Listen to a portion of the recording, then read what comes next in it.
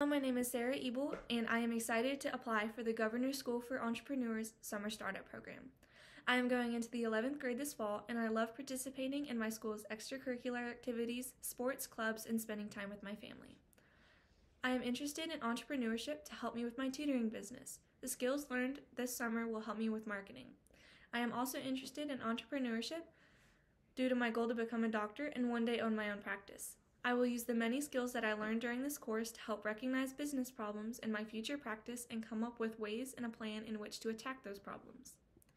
My skills, talents, and experiences include a trip to Paris for a leadership conference. We conducted a series of interviews in Paris, which helped me develop public speaking skills. I am also passionate about reading, spending time in nature, baking, traveling, and spending time with my family and friends. My other involvements include biblical leadership, which is a mentor program through my school, Chick fil A Leadership, Leadership Forum, which is a leadership class that my school offers, academic team, lacrosse, my church's childcare, archery, beta club, bluegrass Christian camp volunteer, and youth group. One of the main ways in which I contribute on these teams is how I can listen to others and what they have to say and collaborate with others to form strategic solutions.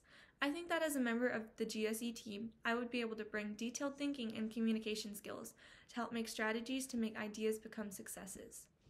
Thanks so much for watching my application video, and I look forward to the opportunity of seeing you this summer.